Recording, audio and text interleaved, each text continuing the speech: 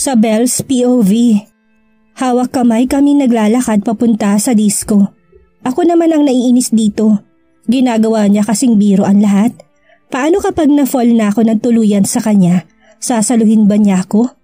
Oo, pumapayag ako sa pahalik-halik niya pero hindi ko nakakalimutan na mayaman siya at mahirap lang ako. Hindi kami pwede at maliwanag pa yon kaysa sa sikat ng araw. Hindi niya binibitawan ang kamay ko. Nakita namin ng mga kaibigan ko. Mabuti na lang at wala na si Joaquin. Frenny, akala namin uuwi na kayo. Tanong ni Nimia. Hindi na. Gusto daw kasing maranasan ng senyoritong probinsya vibes. Paliwanag ko sa aking kaibigan. Si Roda naman ay paninguso sa kamay namin. Pero itong katabi ko walang pakialam at mas sinigpitan pang hawak niya sa kamay ko. Takot daw siyang mawala dito. Sabi ko sa kanila sabay ngiti ng alanganin. Si Ella naman ay tumatawa at aliw na aliw. Takot ka bang makuha ng iba si Sabel, senyorito? Walang prenong tanong ni Ella habang patawa-tawa lang. Tumingin naman ako kay Manong kung sasagot niya siya. Buong akala ko'y mananahimik siya pero sumagot siya at ako ang nahihiya sa kanya. Yeah, mahirap na. Baka wala na akong utusan. Akala ko pa naman ay matutuwa ako pero nainis lang pala ako. Aalis na sana ako nang bumuno ito sa tenga ko. Utusan na mahalin din ako pabalik. Sabi niya gamit ang malambing niyang boses. Ako naman ay natulala sa sinabi niya. Bigla akong nabingi. Nabingi ako sa narinig ko. Bakit ba niya ginagawa to?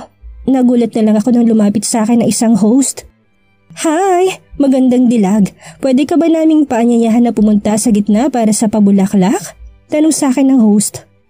What's pabulaklak? Tanong sa akin ni Manong. Senyorito, yung lahat ng mga binatay pwede siyang isayaw.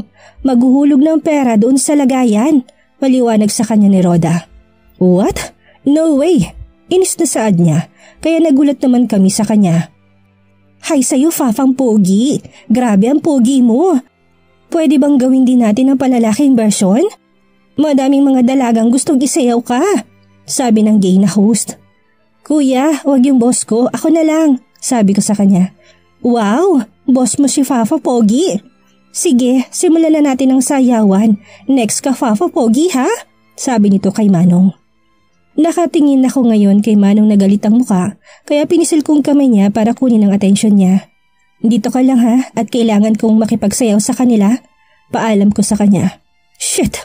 Pagmumura niya habang namumula ng muka. Kalma ka lang dito, sabi ko pa sa kanya. How can I relax kung maraming lalaki ang makikipagsayaw sa'yo? Inis na sabi niya. Eh di makipagsayaw ka rin sa akin kung gusto mo. Binigyan ko siya ng suggestion para naman hindi na siya magalit. Ngumiti muna ako sa kanya bago ako umalis sa tabi niya. Naglakad ako papunta sa harapan. Unang lumapit si Joaquin sa akin kaya naghiyawan ang mga nandoon. Siyempre, lalo ng mga kaibigan ko na alam ang sekreto ko na hindi naman talaga sekreto dahil alam rin yun ni Joaquin. Pero feeling lang ata ko dahil hindi sa akin ko hindi sa anak ng mayor sila tumitili. Ang ganda kasi ng ngiti ni Joaquin. Nilingon ko si senyorito na masama ang tingin ngayon sa amin. Ang laki ng pera na nilagay ni Joaquin kaya matagal pa niya akong isasayaw. Sweet dance lang at love song ang tugtugin. Kinakabahan na ako sa klase ng tingin niya. Lumapit ito't naglagay ng pera kaya halos lahat ng tao doon ay napasinghap sa ginawa niya.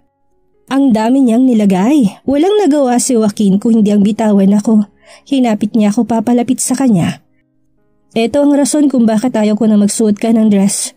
Pabulong na sabi niya sa akin. Tumigil ka nga dyan, bakit ang dami mong nilagay dyan? Hihingi pa naman sana ako sa'yo. Wala nga akong pera dito para ihulog doon mamaya. Siguradong madami ang gustong isayaw ka. Naiinis na sabi ko. Sa sinabi ko'y napangiti to. So, you want to dance with me? You can dance on my lap. Panunuksong biro niya sa akin. Ako naman ay namumula na sa mga sinasabi niya. Muli ko na namang naalala yung nangyari sa kondo niya. Biglang naging maingay ang paligid. Si Pogi naman, para may chance kami. Ah, ang Pogi mo, akin ka na lang please. Hiyawan ng mga kababaihan na nasa paligid kaya naririnig ko mang malalakas na tili ng mga babae. At dahil sa request nila na si Manong na ang dapat isayaw ay tumigil na kami. Iniwan ko siya sa gitna at umupo ako sa tabi ng mga kaibigan ko. Tumabi din sa akin si Joaquin at nakipag-usap. Hindi ko na malayan na tapos na pala ang sayawan. Hindi kasi ako tumingin doon kay Manong dahil maiinis lang ako. Ewan ko ba. Pero nanggigigil ako sa mga babaeng kasayaw niya. Ang pangit nila sa paningin ko.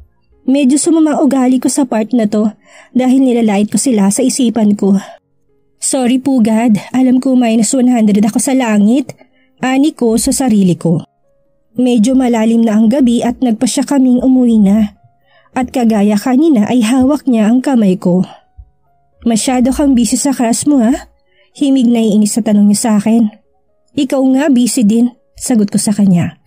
Are you jealous? Hindi no, Mabilis na sagot ko sa kanya. Okay, sabi mo eh. Nakangiti sabi niya na may halong pangaasar. Inirapan ko lang siya at narinig ko na tumawa to. Sumakay kaming dalawa sa tricycle. Madilim na at tanging ilaw lang nang sinasakyan namin na nakikita namin sa daan. May nakaharang na kortina sa gilid ko. Medyo matagal din ang magiging biyahe namin at madilim dito sa loob ng tricycle. Nagulat na lang ako nang halikan ako ni senyorito. Malalim at mapusok na halos higupin niya ang labi ko. Ang halik niya na hindi ko kayang tanggihan. Sinisimulan niyang lamasin ang dibdib ko kaya hindi ko maintindihan ng sarili ko dahil para akong sinisilaban sa ginagawa niya. Ako naman ay nakahawak na sa balikat ni Manong habang kinakain niya ang labi ko. Literal na kain na dahil kawawang malilit ko na labi sa pagkagat-kagat niya. Kahit na sobrang nakakadala ang halik niya at pinipigilan ko na makalikha ng ingay dahil ayaw ko rin na maiskandalo kaming dalawa. Nakakahiya sa tricycle driver. Bumaba ang halik niya sa leeg ko hanggang sa naglakbay ang kamay niya. Napakislit ako. Hindi ko maintindihan ang sarili ko kung bakit hinahayaan ko lang siya sa ginagawa niya. Bawat halik niya ay tinutugon ko rin kapareho ng ginagawa niya. Ilang sandali pa'y naramdaman ko na sumabog na ang namumuo sa puson ko kanina. Sakto ding natapos kami ay nakarating na kami sa tapat ng bahay. Bumaba kami na parang walang nangyaring kababalaghan sa loob ng tricycle. Pagpasok namin ay agad ako naghugas ng kamay at naglinis ng katawan, ganun din siya. Dahil maliit lang ang bahay namin ay sasala ko siya nilatagan ng higaan. Masasabi ko na hindi rin pala siya maarting tao kahit nalaki siya sa yaman. Bago ko pumasok sa silid ko ay humirit pa ito ng isang halik na parang ayaw na akong tigilan. Pasalamat ako at tulog na si nanay dahil kung nagkataon nagising pa siya at nakita kami ay makukurot talaga niya ako sa singit. Naging maayos ang pananatili namin dito sa probinsya. Akala ko nga ay makakarinig ako ng reklamo kay Manong pero game na game siya sa buhay probinsya. Minsan pinigilan ko siya kagaya ng pagsibak ng kahoy at pagigib ng tubig pero ayaw paawat. Senyorito, hayaan mo na si Bunsoy na mag-igib, sabi ko sa kanya. Kaya ko to babe, hayaan mo kong gawin to. Nakangiting sagot niya sa akin. Hmm, sige, ikaw ang bahala. Ngumiti at pumunta na ulit sa balon. Nandito ako ngayon sa bakuran namin para mag-harvest ng mga gulay na lulutuin ni inay. Simula nang umuwi ako ay nagpaturo ako kay nanay kung paano magluto. Nakakahiya kasi. Ako ang dapat na magluto kapag nasa Manila na kami pero itong si Manong ang siyang nagluluto para sa akin. Fast learner naman ako kahit papano kaya natuto na ako. Pagkatapos ko mamitas ay pumasok na ako sa loob ng bahay. Saktong pagpasok ko ay kararating lang ni Manong galing sa pag-iigib ng tubig. Mabilis akong kumuha ng pamilit niya dahil basa na ngayon ang damit niya. Nasanya na rin itong magising ng maaga. Naging tan na ang kulay ng balat niya at masasabi ko na mas bagay sa kanya. Para sa akin, lalo siyang naging guwapo. Magpalit ka na muna dahil basa na yung damit mo at baka magkasakit ka. Sabi ko sa kanya sabay abot ng damit sa kanya. Ngumiti ito sa akin. Thanks babe. Sagot niya sa akin. Naghubad ito kaya ako naman ay napaiwas ng tingin. Masyado kasing magandang hubog ng katawan niya at naaakit ako sa mga pandesal niya sa tiyan. Babe, gusto mong hawakan? Ha? Nagulat na tanong ko sa kanya. Yung abs ko, nakangiting sabi niya sa akin. Hindi ah, ayoko. Mabilis kong pagtanggi sa sinabi niya. I'm just kidding. Iniwan ko na lang siya dahil ang saya niya habang inaasar ako. Nagulat ako na magtatanghali na dahil may mga dumating na mga mesa at upuan. Sunod-sunod ang dating ng mga delivery. May mga dumating din na mga delivery ng pagkain kaya nagtaka ako kung bakit may mga dumadating. Hinila ko siya papunta sa silid ko. Anong meron at may mga delivery, senyorito? Nagtatakang tanong ko sa kanya. Gusto ko lang ng kaunting salo-salo. Sagot niya sa akin. May okasyon ba? Tanong ko ulit sa kanya. It's my birthday today. Napaiwas ito ng tingin sa akin. Hala, sorry po, hindi ko kasi alam. Saad ko sa kanya. Lumapit ako sa kanya at niyakap siya. Alam ko na natigilan ito sa ginawa ko. Happy birthday Karim! Pagbati ko sa kanya pagkatapos ay hinalikan ko siya sa labi. Itong unang beses na akong humalik sa kanya at unang beses sa tinawag ko siya sa pangalan niya. Noong mga nakaraan kasi nakasanayan ko na ang pahalik-halik niya sa akin. Bibitaw na sana ako nang niyakap niya ako ng mahigpit. Thank you babe. Nakangiting saad niya sa akin. Labas na tayo, baka hinahanap na tayo, sabi ko sa kanya. Okay babe. Sabay kaming lumabas, nag-ayos ako ng paligid para naman kahit paano ay maging maganda at masaya ang birthday niya dito sa maliit naming bakuran. Pumunta ang mga kaibigan ko dahil na rin inimbitan niya. Kinunan ko ng litrato mga nangyayari para maging memories ko balang araw. Hindi ako sigurado kung ano nang meron kami at kung magtatagal ba ito pero masaya ako na naging parte ako ng buhay niya. Alam ko rin na darating ang araw na wala na kami sa piling ng isa't isa. Pagbalik sa Manila ay babalik na kami sa realidad na ako si Sabel, na maid niya at siya ang senyorito na boss ko. Nagkakasiyahan sila at itong mga kapitbahay ay pinapainom nila si Manong. Kahit hindi ito sanay ay game pa rin siya sa tagayan. Panay na nga ang kindat niya sa akin dahil halatang lasing na siya. Ang bait na bata ni Karim no? Biglang tanong sa akin inay. Siguro po, hindi ko siguradong sagot sa kanya. Parang hindi ka pa sigurado anak. Natatawang tanong ni inay sa akin. Hindi naman po kasi talaga siya mabait inay. Ang suplado niya kaya. Noon lang ata anak, eh ngayon ba? Hmm, kaunti lang po. Very very light po. Sagot ko kay inay habang nakanguso. Ikaw talagang bata ka. Natatawang sabi sa akin ni inay. Nagsiuwian na ang mga bisita. Medyo mainit ngayon kahit napagabi na kaya bala ko maligo sa talon. Dito sa amin ay may maliit na talon at masarap maligo dahil katamtaman ng alamig na tubig. Hindi ko na niyaya si Manong dahil ang alam ko ay natutulog ito dahil nakapikit ang mga mata niya. Hinayaan ko na lang siyang magpahinga. Nay, punta lang po ako sa talon. Paalam ko kay nanay. Sige anak, mag-iingat ka. Sigaw niya sa akin mula sa kusina. Lumabas na ako sa bahay. Ligtas naman kahit na ako lang mag-isa ang pumunta dahil mababait ang mga kabaryo ko. Dito na ako lumaki kaya alam na alam ko. Pagdating ko ay natuwa ako dahil ang linis pa rin ng tubig. Walang pinagkaiba nung huling punta ko dito. Hinubad kong damit ko tanging bra at panty na lang ang tinira ko. Nilagay ko rin sa malaking bato ang dala kong towel. Paggabi na kaya sigurado kong wala nang pupunta dito. Tuwing sasabit kasi ang alas 6 ng gabi na sa kanya-kanyang tahanan na ang mga tao dito. Ang sarap sa pakaramdam ng tubig. Hindi ako pumupunta sa malalim dahil hindi naman ako marunong lumangoy. Hindi ko alam pero simula ng bata pa ako ay dito na kami naliligo minsan. Pero hindi ako pumupunta sa malalim na bahagi. Natatakot rin ako malunod. Ay! Biglang bulalas ko nang may biglang yumakap sa akin. Bakit hindi mo ako sinama dito babe? Tanong sa akin ni Manong. Nakakagulat ka naman. Hindi kita sinama dahil tulog ka po, sagot ko sa kanya. Sana ginising mo ko Nararamdaman kong labi niya sa likod ko dahil hinahalikan niya ako. Biglang uminit ang pakaramdam ko sa ginagawa niya. Ay, ano bang ginagawa mo senyorito? Ibaba mo ko? Sabi ko sa kanya dahil nagulat ako sa biglaan niyang pagbuhat sa akin. Nakabrief lang siya at ramdam ko ang bukol na tumutusok sa pangupo ko. Ayaw ko doon babe, much better dito sa malalim tayo. Nakangiting sabi niya Humarap ako sa kanya at yumakap sa leeg niya dahil natatakot ako. Relax babe, you're safe with me. Assurance niya sa akin. Alam mo naman na hindi ako marunong lumangoy, kaya natatakot ako. Saad ko sa kanya. Tumila ito sa akin at ganun din ako sa kanya. Napakagwapo niya talaga namang lahat ay mahuhumaling sa kanya. Sa tingin ko, mahal ko na siya. Sa ilang araw na kasama ko siya hindi na tumigil ang bilis ng tibok ng puso ko kapag tumitingin siya sa akin. Hinawakan ko mukha niya. Nilagay kong daliri ko sa kilay niya pababa sa ilong niya hanggang sa labi niya.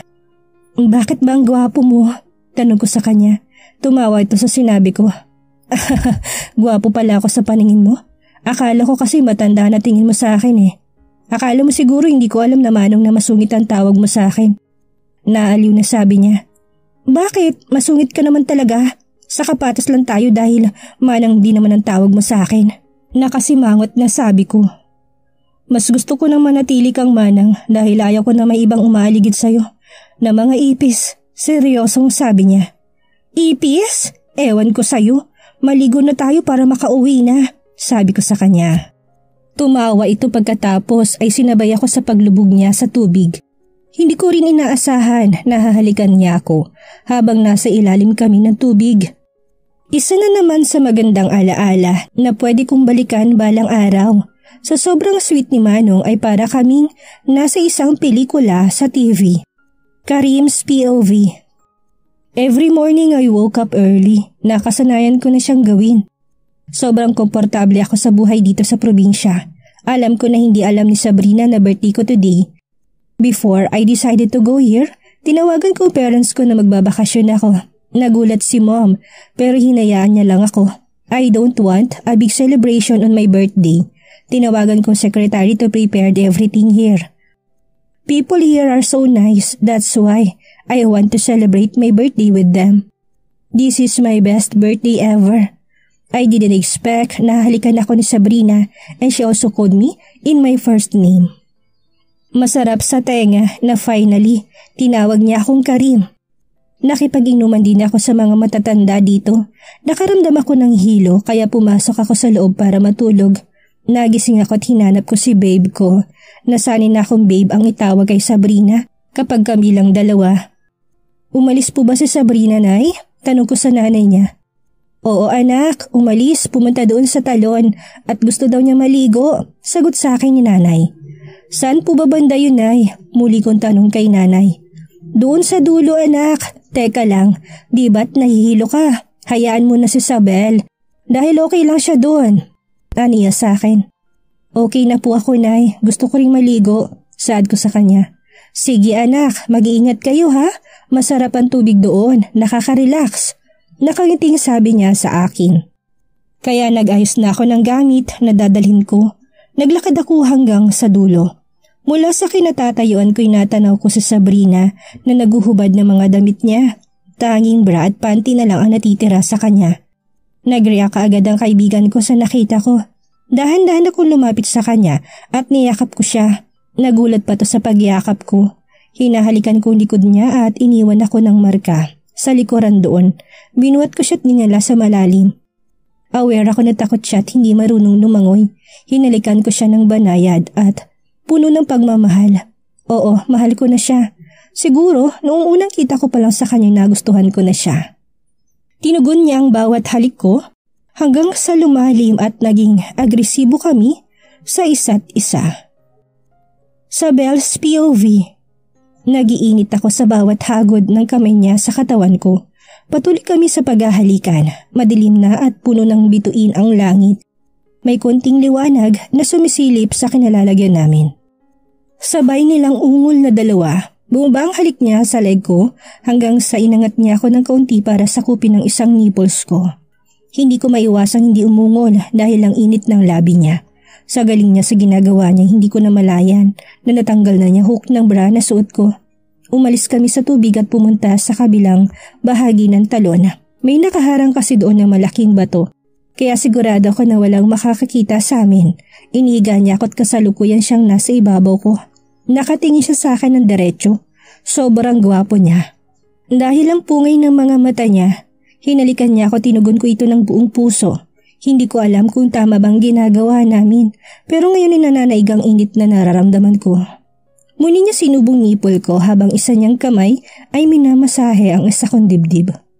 Jake, Ungol ko sa pangalan niya, mas gusto ko na Jake ang itawag sa kanya kaysa Karim dahil alam ko na gamit na gamit na yun ng maraming babae na sumisigaw sa sarap kapag ginagawa niya ang ginagawa niya sa akin.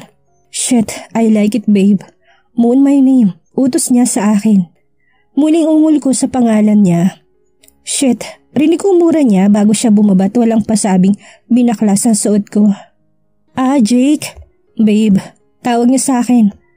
Sa ginagawa niya hindi ko na alam ang nangyayari sa akin dahil bumabaluktot ng mga daliri ko sa paa. Nang maramdaman ko na malapit na akong makaraos ay sinabi ko sa kanya, Jake, pakaramdam ko na iihi na ako. Go on babe, just let it out. Ungol ko habang si Manong ay sinalo ang lahat ng nilabas ko. Jake, I want you. Ito ang gift ko sa birthday mo. Sagot ko sa kanya. Alam ko na masakit pero pipilitin kong kayanin. Are you sure babe? Ayaw ko na pagsisihan mo tumamaya kay gusto ko na kapag sigurado ka gagawin natin. Saad niya. Sure na sure ako Jake. Sige na, baka magbago pang isip ko. Hindi ko na paghandaan ang pagpasok niya sa akin. Aray, sobrang sakit. Bakit mo binigla? Umiyak na tanong ko dahil pakaramdam ko, naghiwalay ang balakang ko. Sorry babe, sabi mo kasi, ipasa ko na. Mas okay na biglay natin pero babe, hindi pa akong nakakalahati. Bungad pa lang tayo, sabi niya. Ngumiti na lang ako sa kanya para bigyan siya ng sign na ituloy na namin. Sa ginawa niyang yon ay may kirot ako naramdaman, tiniis kong sakit. Ngumiti ako kasi nangihina talaga ako. Pakaramdam ko'y nawalan ng lakas sa mga tuhod ko. Thank you for trusting me babe. Sabi niya sa akin na tinalikan niya ako. Bumalik kami sa tubig at doon ulit pinagpatuloy ang init na nararamdaman namin. Memorable ang unang beses namin dahil tuluyang napasukan ang pinakaingatan ni Isabel. Saksi ang buwan sa pag-iisa na makakatawan namin. Wala ko nakapang pagsisisi sa naging desisyon ko. Sa POV, nang bumalik kami sa tubig, ang buong akala ko'y maliligo na kami para makauwi na. Pero hindi pa pala. Patuloy kami naghahalikan. Pakiramdam ko'y namamaga ng labi ko sa labis niyang paghalik sa akin. Pangalawa na namin dito't sa tingin ko'y late na kami makakauwi. At baka magtaka na si nanay. Jake, baka hinahanap na tayo ni nanay. Saad ko sa kanya. Babe, last one please. Mapangakit na bulong niya sa akin. Kanina yan din ang sinabi mo pero humihirit ka na naman ngayon. Kunwaring naiinis na sabi ko sa kanya. Tumawa lang ito sa akin na para bang wala lang sa kanya. Niyakap niya ako tinalikan ng leg ko na dahilan para muling bumalik ang init na nararamdaman ko. Nanatili kaming magkayakap at dinadama ang init ng katawan ng bawat isa. Bukas ay babalik na kami sa dati naming buhay. Uuwi na tayo, senyorito. Nakangiting sabi ko sa kanya. Why are you calling me senyorito?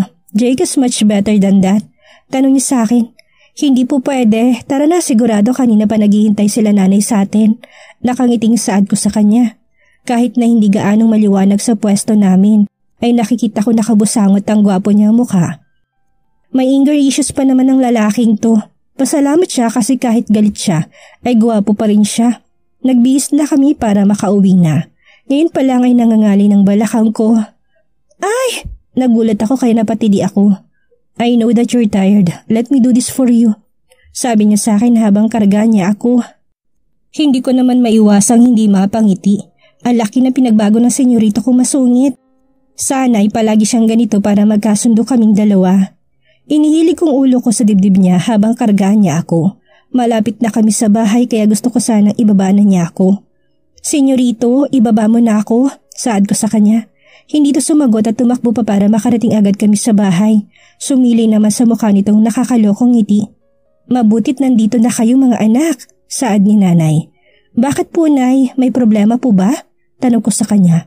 Wala naman anak pero kailangan kasi naming umalis na kapatid mo. Pupunta kami sa kabilang baryo para makiramay sa isa kong kaibigan na namayapa na. Aniya sa amin. Ganun po ba, Nay? Sige po, mag-iingat po kayo. Saad ko sa kanya. Teka lang anak, bakit ka pala karga ni senyorito? Tanong ni inay sa akin. Nadulas po ko kanina, Nay, kaya masakit ang balakang ko. Paliwanag ko dito. Ganun ba? Sige anak, kayo nang bahala dito ha. Bukas pa na umagang uwi namin ni Bunso, sabi niya. Sige po, Nay. Aayusin ko na rin po mga gamit namin. Hapon pa naman pong alis namin. Ingat po kayo. Sigaw ko sa kanila dahil palabas na sila sa bakuran namin. Pagpasok ko ang lawak ng ngiti ni Manong. Siguro may binabalak to sa akin na masama. Pumasok ako sa kwarto ko para ayusin ang mga gamit ko. Masakit ang nasa pagitan ng mga hita ko at nangangalay ang balakang ko. Nahihirapan din ako maglakad kaya para akong pagong kung kumilos ngayon. Sumunod naman dito sa akin dito sa silid ko at umupo sa papag ko. Isa-isa kong inayos sa mga gamit ko. Pagkatapos ko dito'y gamit naman niyang aayusin ko. Pwede ba? Huwag mo akong titigan. Inis na sabi ko sa kanya. You're so gorgeous babe. Nakangiting sabi niya. Tigilan mo nga ako, di ba manang ako, baduy? Tapos ngayon gandang-ganda ka sa akin. Balak mo lang atang makaisa pa. Sorry ka na lang kasi masakit pa. Sad ko sa kanya. You're so funny babe. I know na masakit pa yan. Baka ikaw may gusto na makaisa pa tayo.